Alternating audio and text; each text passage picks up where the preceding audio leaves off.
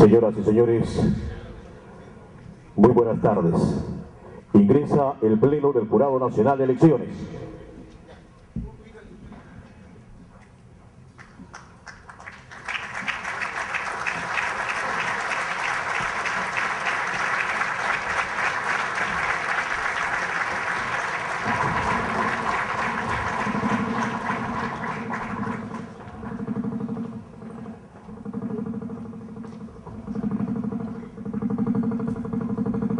Muy bien, tomen asiento.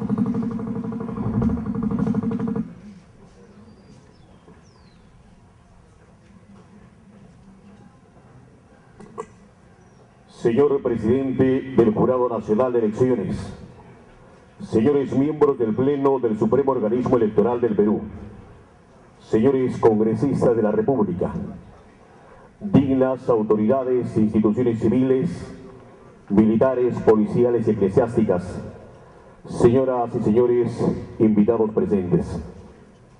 El Jurado Nacional de Elecciones agradece su importante presencia en esta sesión solemne de entrega de credenciales al señor Presidente Constitucional de la República y vicepresidentes electos.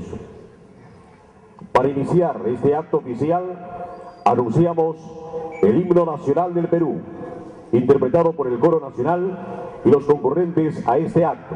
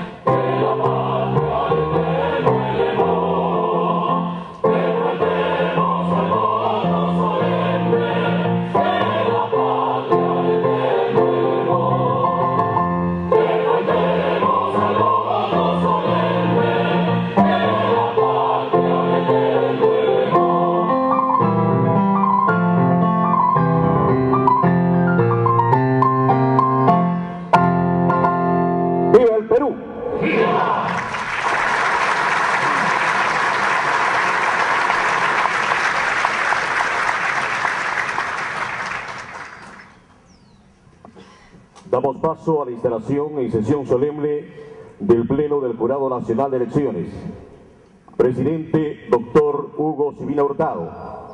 Miembros del Pleno, doctor José Humberto Pereira Rivarola, doctora Elba Greta Minaya Calle, doctor Modesto Legario de Bergamonte Mesa, doctor José Luis Velarde Urdanibia, secretario general, doctor Roque Augusto Bravo Basaldúa.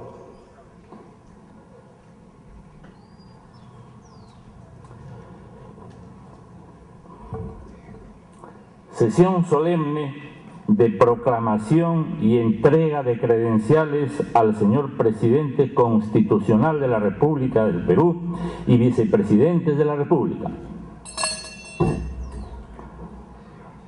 Continuación, el doctor Roque Augusto Bravo Basaldúa, secretario general del Supremo Organismo Electoral, dará lectura a la resolución número 554-2011-JNE del Pleno del Jurado Nacional de Elecciones, por la que se proclama al señor presidente constitucional de la República y a los señores vicepresidentes electos.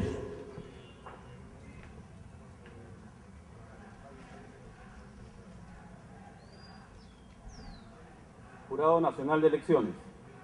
Resolución número 554-2011-JNE. Lima, 23 de junio de 2011. Viste el acta general de proclamación de resultados de la elección de presidente y vicepresidentes de la República, que contiene los resultados consolidados de la segunda elección presidencial llevada a cabo el domingo 5 de junio de 2011, en el marco de las elecciones generales del año 2011. Considerando 1. Mediante decreto supremo número 105-2010-PCM, publicado en el Diario Oficial El Peruano el domingo 5 de diciembre de 2010, se convocó a elecciones generales para la elección de presidente y vicepresidentes de la República, congresistas y representantes peruanos ante el Parlamento andino, para el domingo 10 de abril de 2011, para lo cual, mediante la resolución número 020-2011-JNE de fecha 20 de enero de 2011, se aprobó el padrón electoral con un total de 19.949.915 electores. 2 la elección se realizó el 10 de abril de 2011, oportunidad en la que ninguna de las fórmulas de candidatos obtuvo más de la mitad de los votos válidos, por lo que en aplicación de lo estipulado en el artículo 11 de la Carta Constitucional y el artículo 18 de la Ley número 26.859, Ley Orgánica de Elecciones, se llevó a cabo una segunda elección el 5 de junio de 2011, entre las fórmulas de candidatos que obtuvieron las dos más altas mayorías relativas, esto es, entre las fórmulas presentadas por los partidos políticos Gana Perú, 4.643.064 votos y Fuerza 2011, 3.449.595 votos. 3. Llevada a cabo la segunda elección en la fecha señalada, han sido resueltas en su totalidad las observaciones a las actas electorales e impugnaciones formuladas. Asimismo, las oficinas descentralizadas de procesos electorales han culminado el cómputo de votos y emitido sus reportes sobre los cuales los 54 jurados electorales especiales instalados en todo el territorio nacional emitieron sus correspondientes actas de proclamación descentralizada. 4. La Oficina Nacional de Procesos Electorales, con oficio número 1502-2011-SG-OMPE, de fecha 17 de junio de 2011, remitió el cómputo general y la información consolidada de los votos emitidos en territorio nacional y por los ciudadanos peruanos residentes en el extranjero, que comprenden el Distrito Electoral Nacional. 5. En este estado del proceso, a la vista de los resultados obtenidos en esta elección, corresponde al Jurado Nacional de Elecciones, ejerciendo su función constitucional establecida en el artículo 178, numeral 5 de la Constitución Política del Perú y el artículo 5, literal I de su ley orgánica, ley número 26.486, proclamar resultados del cómputo y a los candidatos electos para ejercer los cargos de presidente y vicepresidentes de la República en el periodo de gobierno 2011-2016. Por lo tanto, el Pleno del Jurado Nacional de Elecciones, en uso de sus atribuciones, resuelve. Artículo primero. Declarar que en la elección de presidente y vicepresidentes de la República, segunda elección de las elecciones generales del año 2011, los resultados del cómputo son los siguientes. Total de electores hábiles, 19.949.915. Total de ciudadanos que votaron, 16.466.397. Total de votos válidos, 15.428.351. La organización política Gana Perú obtuvo 7.937.704 votos, equivalentes al 48,205% de los votos emitidos y al 51,449% de los votos válidos. La organización política Fuerza 2011 obtuvo 7.490.647 votos, equivalentes al 45,491% de los votos emitidos y al 48,551% de los votos válidos. Los votos en blanco sumaron un total de 116.335, equivalentes al 0,706% de los votos emitidos. Los votos nulos sumaron un total de 921.711, equivalentes al 5,598% de los votos emitidos. Artículo segundo. Proclamar ganadora de la elección presidencial de las elecciones generales del año 2011 a la fórmula de candidatos presentada por el partido político Gana Perú. Artículo tercero. Proclamar y otorgar las credenciales para el periodo de gobierno 2011-2016 en los cargos que se indica a los siguientes ciudadanos. Presidente Constitucional de la República del Perú, señor Ollanta Moisés Humala Tazo. Primera Vicepresidenta de la República del Perú, señora Marisol Espinosa Cruz. Segundo Vicepresidente de la República del Perú, señor Omar Karim Chejade Moya. Artículo cuarto. Remitir la presente resolución y el acta general de proclamación de resultados de la elección presidencial de las elecciones generales del año, del año 2011 al Congreso de la República, conforme lo dispone el artículo 324 de la ley número 26.859. Artículo quinto. Disponer la publicación de la presente resolución en el diario oficial El Peruano y en el portal institucional del Jurado Nacional de Elecciones. Regístrese, comuníquese y publíquese. Suscriben Sivino Hurtado, Pereira Rivarola, Minaya Calle, de Bracamonte Mesa, Velarde Urdanibia, Bravo Basaldúa, secretario general.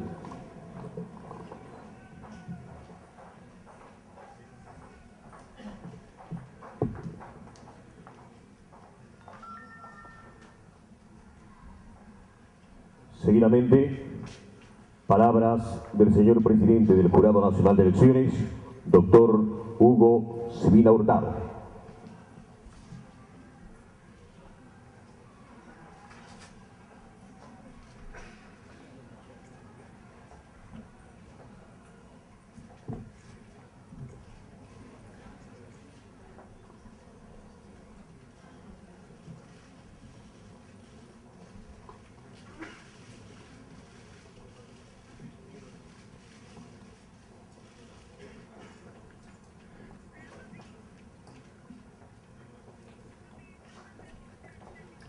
Señor Presidente Constitucional de la República electo, señores, señora Vicepresidenta y señor Vicepresidente de la República,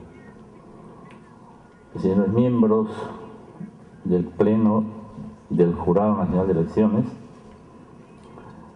señor Presidente encargado del Poder Judicial, señores vicepresidentes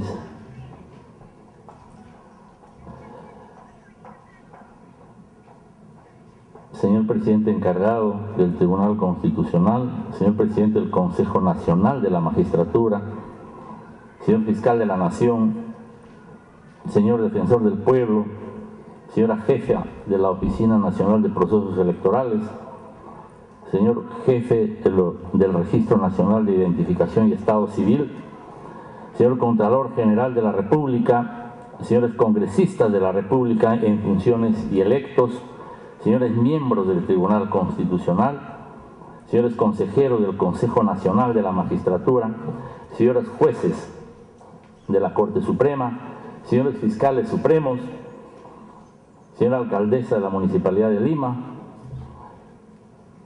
pareciera que no ha concurrido, señor jefe del Comando Conjunto de las Fuerzas Armadas, señor comandante general del Ejército, señor comandante general de la Marina, de Guerra del Perú, señor director general de la Policía Nacional del Perú, señor jefe del Estado Mayor de la Fuerza Aérea del Perú, señor alcalde provincial del Callao, señores presidentes de las Cortes Superiores, señores autoridades civiles y militares, policiales y eclesiásticas. Señoras y señores, no es casualidad que nos encontremos en un hermoso monumento histórico para un acto que resulta histórico para el país. El Palacio de la Magdalena fue habitado por personajes muy importantes que son historia del Perú y de América. El que fue construido como residencia de descanso del virrey Joaquín de la Pezuela. Posteriormente fue cuartel general de los libertadores José de San Martín y Simón Bolívar, y luego sede provisional del gobierno nacional de Francisco García Calderón durante la Guerra del Pacífico. El espíritu de los libertadores del Perú está en estas paredes y la proyección de su legado de libertad nos debe inspirar para un acto tan importante como el que tenemos hoy. Estamos en un proceso de transición del poder y el control del poder fue algo que interesó mucho a quienes moldearon nuestro sistema de gobierno y que actualmente preocupa, sin duda, buscando construir los límites que garantizan que garanticen la plena libertad. El proceso de madurez de la democracia hoy día tiene que llamarnos a una profunda reflexión y servirnos para deliberar sobre nuestro papel en el Estado y la sociedad. Señor presidente electo, Ollanta Humala Tazo, el pueblo del Perú en elecciones limpias transparentes y justas, ha decidido que sea usted quien conduzca los destinos del país en los próximos cinco años. Le ha entregado la enorme responsabilidad de impulsar una refundación del sistema político para encumbrarnos en el camino de una democracia inclusiva, en que todos nos sintamos parte de ella y gocemos de sus ventajas. Y ha encontrado en su persona las virtudes para asumir el reto de transformar la sociedad peruana y emancipar a los más pobres y desplazados para comprenderlos en la vía democrática de nuestra patria. Y digo esto porque el Perú es un país lleno de sueños, aún por cumplir. Un grupo social golpeado por muchos años por la violencia política y el olvido de quienes antaño detendaron el poder, pero que no pierda la esperanza de que más tarde que nunca se pueda vivir en libertad, en un escenario donde reine la prosperidad y en una sociedad donde impere la justicia social. He ahí el designio y el desafío que afrontará quien por decisión del pueblo, a través de las urnas, toma la rienda del país y desde la presidencia de la República debe liderar una de las empresas más difíciles, pero grandiosas. ¿Cuál es? El impulsar la gran transformación político-social que todos los peruanos esperamos y aspiramos. Por ello, resulta muy apropiada la elección de este escenario para la ceremonia que nos convoca y así dar inicio a su proclamada gesta de refundir la nación, por ser un lugar que muchos, con mucho simbolismo patriótico, porque alberga en sus alas de exposición diversas piezas y documentos que conforman el legado de nuestro pasado prehispánico. Valiosos documentos y bibliografía que dan cuenta del proceso de independencia del Perú y de Hispanoamérica, así como de los inicios de nuestra vida republicana. Todo ello hace de este espacio un lugar de encuentro con la historia del Perú, con su gente, sus vivencias y sus expectativas de tiempos atrás de vivir en un país libre, inclusivo y democrático, como lo proclamaba como lo proclamaban en América entera los libertadores José de San Martín y Simón Bolívar, cuyo espíritu libertario, como hemos dicho, recorre todos sus ambientes. Precisamente, el mayor legado que nos han dejado estos libertadores es el amor por la patria y el mensaje de, que la lucha contra el colonialismo, la explotación, la esclavitud y la marginación de los pueblos debe darse siempre flameando las banderas de la libertad y teniendo la democracia como único referente para alcanzar dicha libertad y efectuar cualquier transformación político y social. Bolívar dijo que sin moral republicana no puede haber gobierno libre.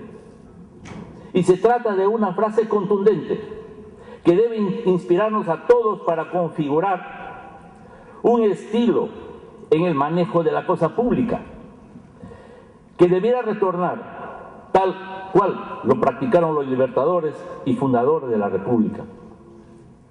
El generalísimo don José de San Martín, en la plenitud de su carrera y para lograr el objetivo de liberar, de libertar América, luego de la famosa conferencia de Guayaquil, entendió que era mejor ceder la gloria a Bolívar, y así lo hizo, entregando ante el primer Congreso Constituyente de 1822 el cargo de jefe supremo del Perú.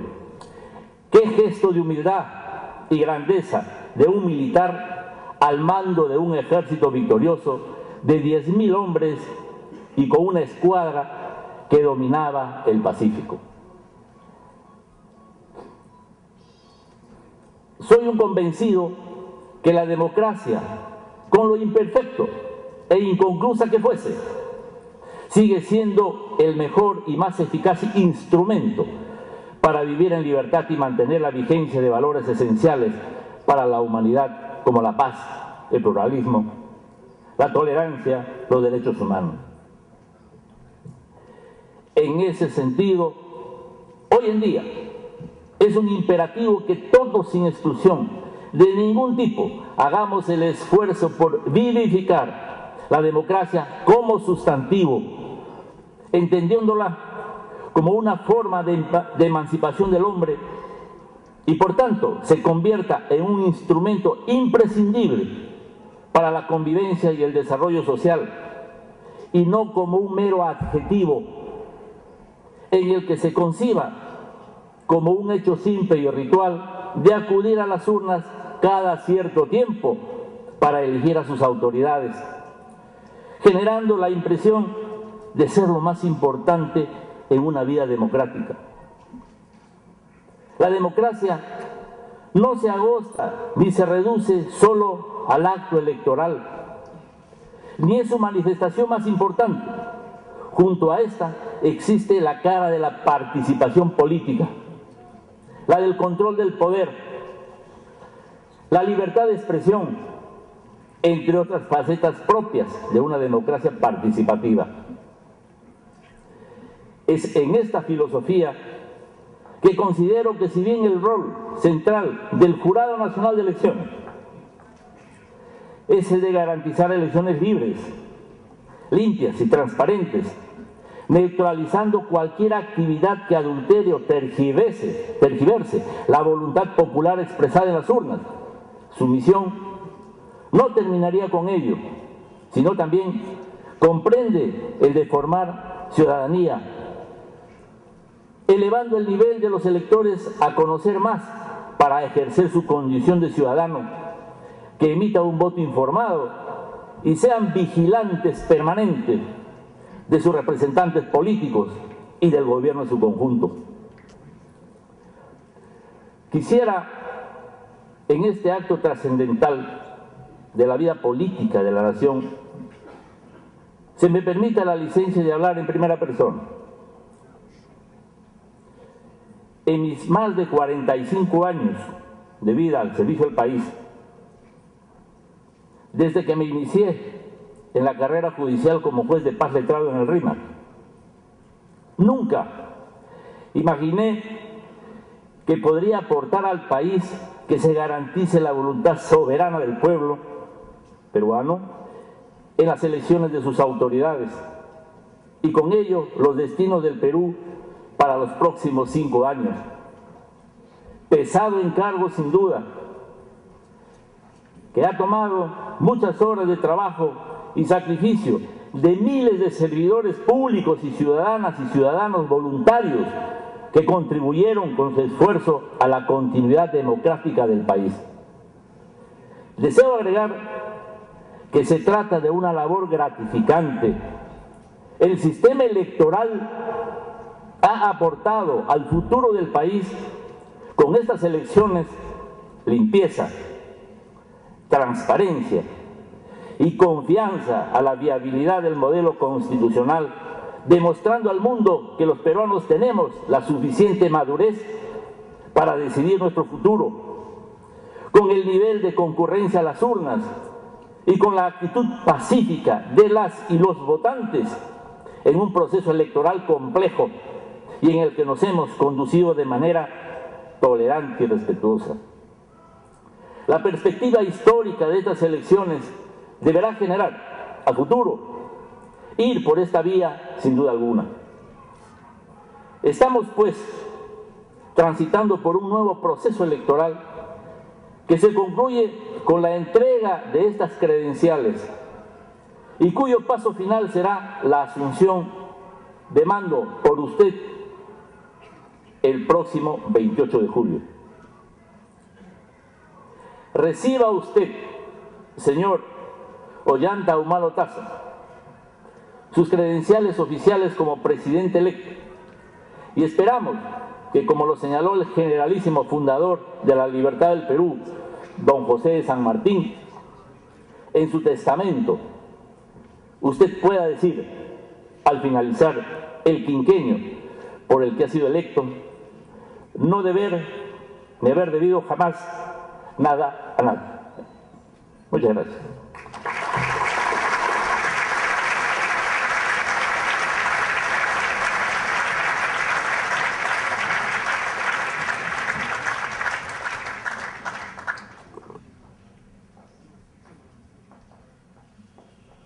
Entrega de credenciales al señor presidente y vicepresidentes de la República. Credencial otorgada como segundo vicepresidente de la República al señor Omar Karim Chejade Moya. La entrega a cargo del señor presidente del Jurado Nacional de Elecciones, doctor Hugo Civil Hurtado.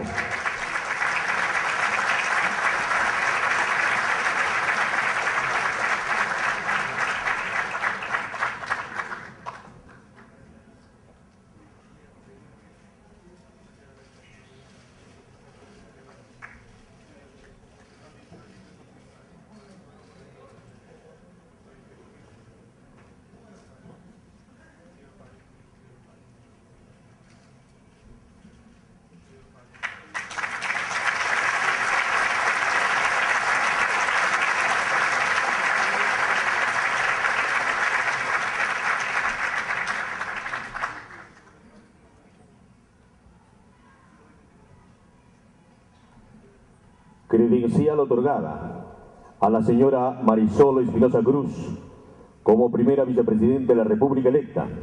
Hará entrega el doctor Hugo Civil Hurtado, presidente del Jurado Nacional de Elecciones.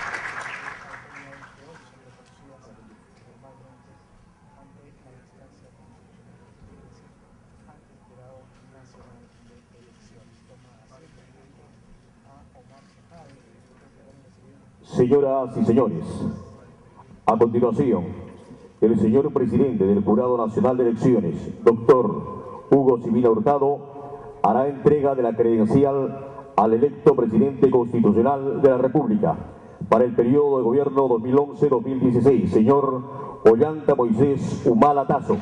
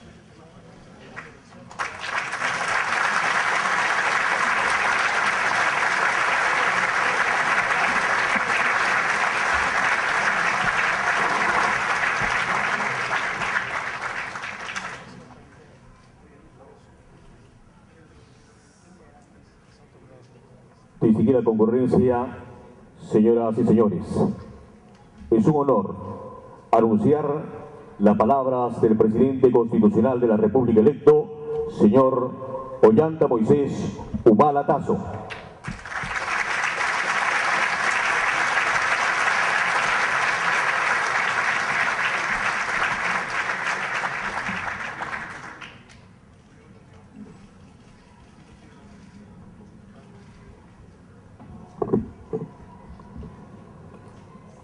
Muchas gracias por todo. Señor presidente del Jurado Nacional de Elecciones, señores magistrados, eh, autoridades presentes, ciudadanos y ciudadanas, compatriotas, todos ustedes, al recibir las credenciales que me otorga el Jurado Nacional de Elecciones, validando los resultados del acto electoral del 5 de junio, Deseo expresar mi agradecimiento por este acto y un reconocimiento público por la realización de un proceso donde se respetó finalmente la voluntad soberana del pueblo peruano.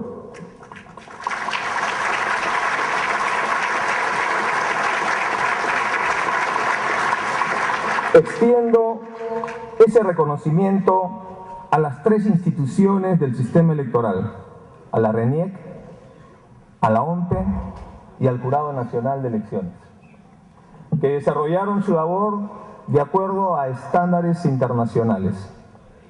No obstante y sobre todo, reconozco y saludo el compromiso de todos los ciudadanos y ciudadanas del Perú que con genuina convicción democrática votaron en las dos vueltas electorales, evidenciando su temple democrático a pesar de la crispación de la campaña electoral.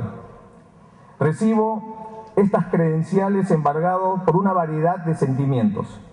El júbilo de haber culminado con éxito una prolongada campaña electoral es grande, pero es más inmensa la gratitud hacia esa inmensa mayoría de peruanos y peruanas que me han honrado con su apoyo. Sus votos, que interpreto como una muestra de confianza y demanda de cambio históricamente negada serán honrados. No puedo dejar de reconocer públicamente el apoyo de miles de mujeres y hombres del Perú que se adhirieron al proyecto Gana Perú del Partido Nacionalista y se abocaron a una campaña llena de sacrificios y dificultades. También a quienes sin pertenecer a nuestras filas se sumaron a nuestra causa con confianza, dedicación y respeto. Reconozco igualmente a los líderes y militantes de otros partidos y movimientos, nacionales y movimientos regionales que, a pesar de las diferencias, contribuyeron decididamente con su adhesión a difundir nuestro mensaje. A las personalidades democráticas y a las organizaciones sociales que compartieron nuestros compromisos y nos alentaron con su voz en las calles y con sus palabras a través, a través de las redes sociales. Y claro, cómo no, un reconocimiento muy emocionado a mi familia por su comprensión y aliento. Y a Nadine, mi infinita gratitud que no alcanza las palabras y que solo cabe en el amor.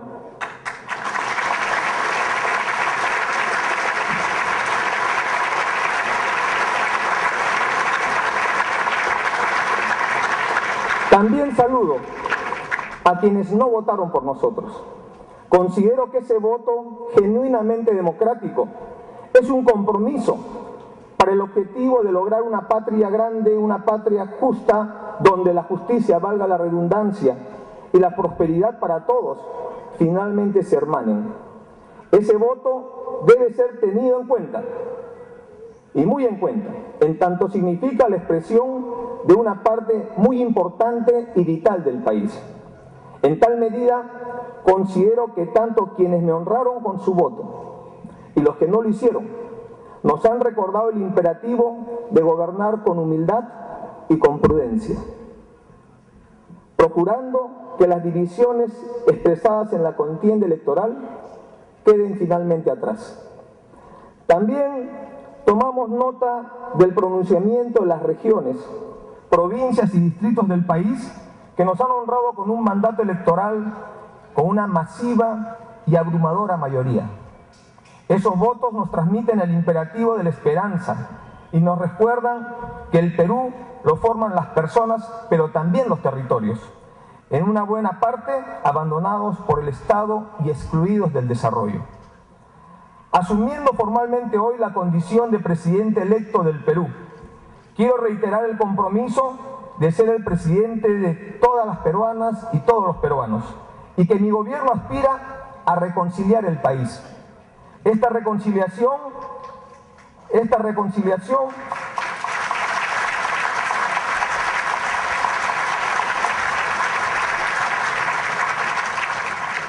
Esta reconciliación, se ha dicho hasta el cansancio, solo será posible con menos pobreza, con más equidad, más derechos, más empleo, más inversión y más democracia, es decir, un crecimiento económico con inclusión social en democracia. Es hora de poner fin a la falsa disyuntiva de crecimiento económico versus equidad, de prosperidad versus justicia. Somos un país bendecido por una naturaleza como pocos otros en el mundo. Tenemos un pueblo generoso y laborioso, que diariamente responde a los desafíos de la pobreza y la falta de oportunidades. En el Perú hay recursos y prosperidad para todos, pero tenemos que aprender a ser más solidarios para sembrar un bienestar colectivo que nos permita finalmente, como dicen, juntos al borde de una mañana eterna, desayunados todos, como decía el poeta Vallejo. En tal medida, un inmenso desafío de la sociedad peruana, y no solo del Estado y de los políticos, es acompañar el crecimiento económico, que no debe detenerse, con el crecimiento social y el fortalecimiento de la moral de la nación. Para ello, nuestra tarea no puede ser otra que la democrática. En tal sentido, Ratifico ante ustedes lo señalado el 20 de mayo pasado en el juramento a la nación, donde asumí compromisos de honda significación. Reitero nuestro respeto a la alternancia del poder, a la independencia de los poderes del Estado y a la libertad de expresión que debe ser defendida, protegida y estimulada. También reitero nuestra disposición de emprender los cambios ofrecidos para lograr una distribución más justa de los recursos económicos del Perú, para una mayor inclusión económica, social, étnica, geográfica y cultural de todos los peruanos, respetando siempre los procesos propios del Estado de Derecho y teniendo siempre presente la importancia de no arriesgar, sino de estimular el sostenido crecimiento económico que hoy día vivimos todos los peruanos. Ratifico mi voluntad de prevenir y solucionar los conflictos sociales, garantizando al mismo tiempo las inversiones y la sensata explotación de los recursos naturales con respeto a los derechos y libertades de los pueblos indígenas y poblaciones locales.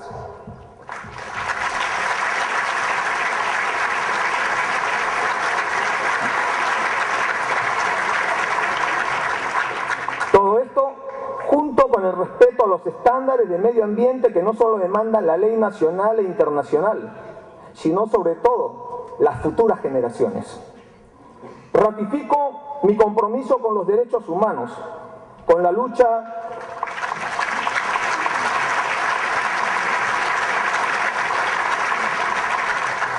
con la lucha contra la corrupción, contra la inseguridad ciudadana, la lucha contra el narcotráfico y el crimen organizado.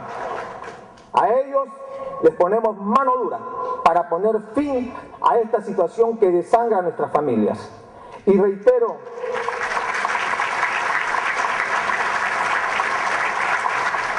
y reitero nuestra voluntad de llevar a cabo una política internacional de buenas relaciones con todos los países de la región. Todos los pueblos de esta parte de nuestra América son hermanos, con un solo pasado y también con un solo futuro. Y así debe ser entendida nuestra vocación de contribuir a la integración regional, subregional y andinoamericana. Nuestra visión de hermandad no se agota en un país. Es una aspiración que nos conduce por los caminos del fortalecimiento de los instrumentos de integración vigente en la región, particularmente la comunidad andina de naciones, la Unión Sudamericana de Naciones y el Mercosur. Amigos y amigas, gobernaremos con responsabilidad y coherencia con el programa electoral que ha recibido la confianza ciudadana. Debe acabarse la práctica muy común de que se termina gobernando con un programa que no ha ganado. Considero que un principio básico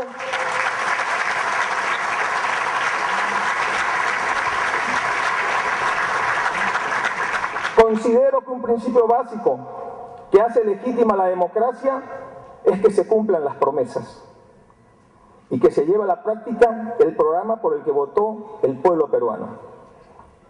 Esto no significa que no tengamos vocación de amplitud para construir un gobierno de ancha base, abierto al diálogo y a la concertación, dispuesto a escuchar y ajeno a la venganza.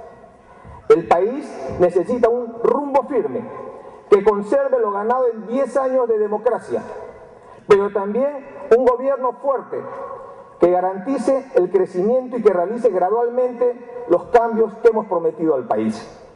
En las siguientes semanas continuaremos encontrándonos con los representantes del Estado y de la sociedad. En las reuniones llevadas a cabo he podido advertir un ánimo de diálogo y una voluntad de cooperación con el nuevo gobierno, lo que agradecemos profundamente. Continuaremos el encuentro con los gobernantes de países hermanos y seguiremos abocados a la tarea de la transferencia de gobierno. Con calma, pero con decisión, anunciaremos en su momento la composición del gobierno sin ceder al apuro ni a las presiones de nadie.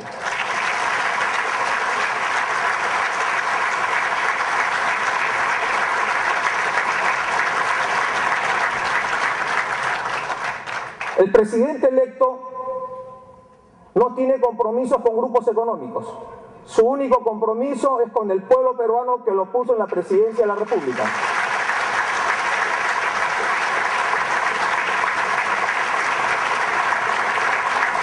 Reitero a todos los peruanos nuestro agradecimiento. Nos preparamos para asumir un gobierno que será para todos. Y como alguien me dijo, cuando tengas una duda, escucha tu corazón. Muchas gracias a todos ustedes.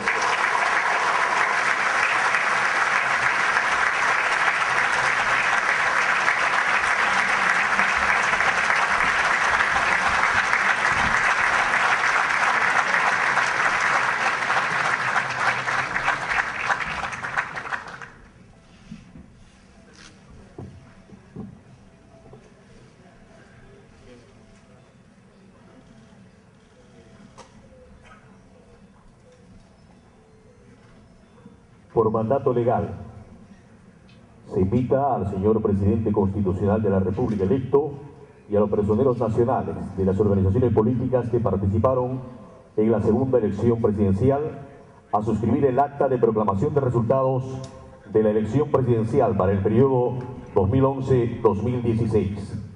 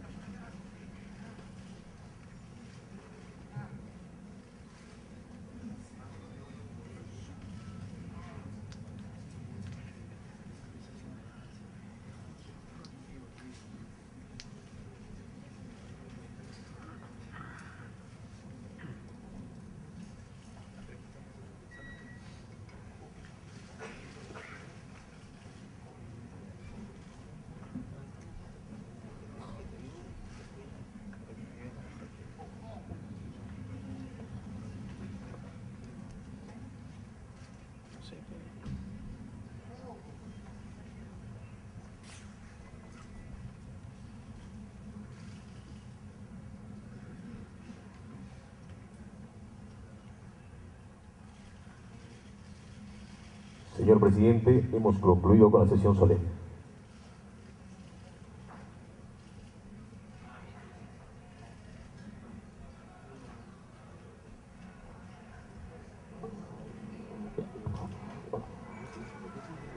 ¿Se escucha?